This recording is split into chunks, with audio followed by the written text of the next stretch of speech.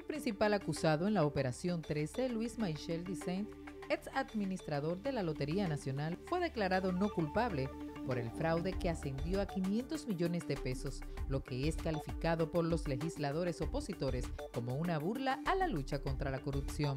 Hay que ver que se ha hablado mucho de la lucha contra la corrupción, pero eh, se ha quedado solo en palabras y vemos que las actuaciones de manera parcial, parcializada y sesgada, diría yo, porque ¿cómo es posible que en un proceso judicial donde estén involucrados aparezcan las personas involucradas condenadas y los que encabezan el, ese, ese, yo diría, esa, ese acto ilícito como ha sido la operación 13, entonces salen en libertad. Así que el Ministerio Público tendrá que dar muchas, pero muchas explicaciones a la opinión pública, porque fue un caso o es un caso escandaloso y que el principal sospechoso, según el propio Ministerio Público, pues que salga ileso, usted tiene que cuestionarse dónde está la credibilidad de la justicia dominicana. Para los congresistas peledeístas, la sentencia no sería la misma si los principales acusados hubieran sido de la pasada administración de gobierno o relacionados al Partido de la Liberación Dominicana. De igual modo, cuestionaron que otros empleados de menor rango sí fueran condenados en el mismo expediente.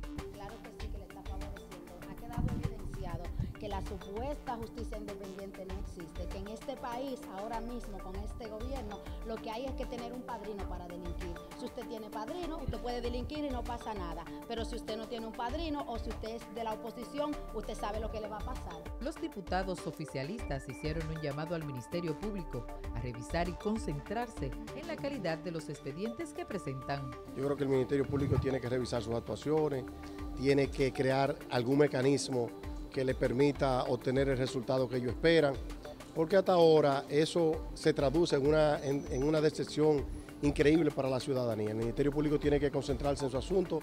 Creo que real y efectivamente debe salir de los medios. Yo creo que el Ministerio Público tiene que revisar ese comportamiento. Es mejor coger tres casos y que salga uno bueno y, y no coger 10 y 20 y 30 casos para que ninguno pueda realmente realizarse.